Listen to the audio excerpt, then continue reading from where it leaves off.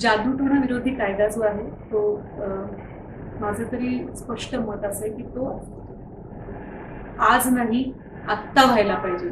कारण या कायद्यामुळे अनेक निष्पाप माणसांचे जे बळी जात आहेत ते वाचले जाणार आहेत. आपल्या मनात एक खूप पोएटिक कल्पना असते की अमुक अमुक गोष्ट झाली नाही म्हणून मला देवाच्या पायाशी लोळण घ्यावी लागली. देवाच्या पायाशी जाण्याबद्दल अंधश्रद्धा निर्मूलन समितीचं काहीच म्हणणं नाहीये. आपले आपल्या ज्या संकल्पना असतात मनातल्या की कोणाच्या मनात असतं की ऑलमाइटी आहे कोणाच्या मनात असतं देव आहे कोणाच्या मनात असतं तेहतीस कोटी देव आहेत.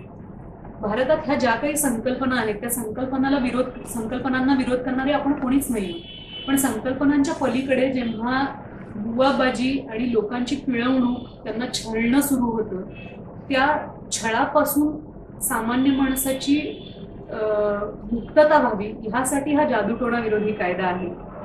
आज आजच्या घडीला आपल्या आसपास आपण अनेकदा असं म्हणतो की अं, कायदा नक्की व्हावा पण त्याचा माझ्याशी काही संबंध नाहीये. असं नाहीये. आपल्या आपल्या पाशी येऊन ठेपतात ह्या गोष्टी. आपले बॉस आपल्या घरी काम आपले आपला बॉस अचानक दोन दोन तीन तीन रंगाच्या अंगठ्या घालायला लागतो. आपल्या घरी काम करणारी बाई म्हणते की नाही नाही मला अमुक अमुक पूजेला जरा जायचंय. मग आपल्याला लक्षात येतं की पूजा कशासाठी होती? कोणाच्या अंगात झाड आलंय? कोणाला भूत भूतबाधा झालीये? त्या सगळ्या ज्या छोट्या छोट्या गोष्टी ज्या आपण असं मानत असतो की शिवाजी जन्माला यावा दुसऱ्यांच्या घरात पण तशी परिस्थिती आता उरलेली नाहीये. अं, हे सगळे जे गैर प्रकार चालू आहेत ते आपल्या उंबऱ्याशी येऊन पोचलेले आहेत. ह्या गैरप्रकारांना आळा बसावा. कारण ह्याचं एक्सप्लॉयटेशन विविध पद्धतीने होते या माणसांचे माणसं देशोधडीला लागत आहेत पैसे वाया जात आहेत अनेक स्त्रियांचं लैंगिक शोषण त्यातून होत आहे अनेक लहान मुलांचे बळी घेतले जात आहेत जनावरं मारली जात आहेत आणि जेव्हा आपण स्वतःला सुशिक्षित आणि सुसंस्कृत मानतो असं असताना अशा गोष्टी आपल्या आजूबाजूला होणं हे फार लांछनास्पद आहे. आणि या गोष्टी थांबाव्या म्हणून जादूटोणा विरोधी कायदा येणं हे फार गरजेचं आहे. गेली अठरा वर्ष सातत्यानं नरेंद्र दाभोलकरांनी या कायद्यासाठी शासनाकडे पाठपुरावा केला होता. प्रत्येक वेळेला विविध प्रकारची आश्वासनं मिळाली की तो होईल ह्या वेळी नाही पुढच्या वेळी होईल मग त्याच्या पुढच्या वेळेला होईल. पण आत्ता ती जर कृती केली गेली नाही तर पुन्हा सहा महिने ती तो कायदा येण्याला स्थगिती मिळते आणि तो कायदा होणं नेहमी लांबणीवर पडत जातो.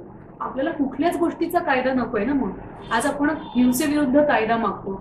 आज आपण घटस्फोटीत स्त्रियांबद्दल कायदे मागतो. आज आपण माणसांना जे लैंगिक स्वातंत्र्य आहे गे माणसांच्या लग्नाबद्दल कायदे व्हावेत म्हणून जर इथे आपल्या देशामध्ये भांडणं चालू आहेत की ते कायदे झालेच पाहिजेत. आणि त्याला जर अनुकूल अनुकूलता दाखवली जाते आपल्या कायदे मंडळातर्फे तर जादूटोणा विरोधी कायदा हा झालाच पाहिजे.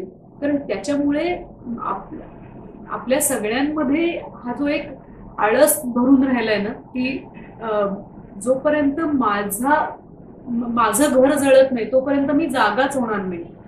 हा जो आळशीपणा आपल्या सगळ्यांमध्ये भरून राहिला त्याला कुठेतरी हलवलं जाईल.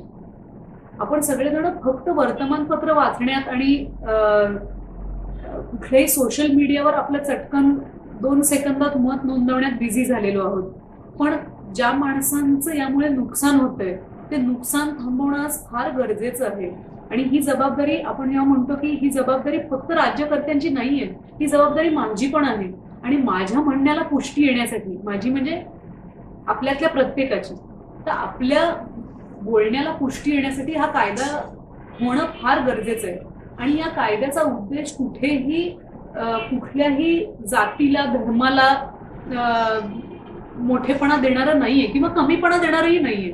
इथे या या कायद्यामुळे कुठेही असं होणार नाहीये की बाबा महाराष्ट्रात किंवा भारतात मुस्लिम विरोधी चळवळ सुरू झाली किंवा ह्या कायद्याने हिंदूंना काळीमा फासणाऱ्या गोष्टी केल्या. हा या जादूटोण्यामध्ये कुठल्याही प्रकारे जातीचा आणि धर्माचा संबंधच येत नाही. इथे फक्त आपल्या डोक्याला कुठेतरी किल्ली देण्याचं काम होणार आहे. कारण क्रिकेटमध्ये रूल असतात ना क्रिकेटमध्ये एलबीडब्ल्यू झाल्यावर आउट मानलं जातं ना. कॅच घेतल्यावरती आउट मानलं जातं ना.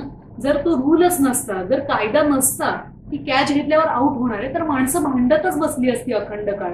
आणि कुठलीच मॅच संपली नसती. तर मला कुठेतरी असं वाटायला लागले की आपल्याला जर एक चांगली मॅच खेळायची असेल आपल्याला एक अतिशय स्वच्छ वातावरण हवं असेल आणि त्या स्वच्छ वातावरणामध्ये कुठेही झेंडे घेऊन आता समाज सुधारणेला तर निघूया आता कचरा कुंड्या स्वच्छ करूया इतकी बेसिक भावना नाही आहे यामध्ये कुठेतरी एक निकोप आणि आनंदी समाज निर्माण करणं ही बेसिक अपेक्षा आहे आणि त्या दृष्टीने काम करण्यासाठी हा कायदा होणं अत्यंत गरजेचं आहे.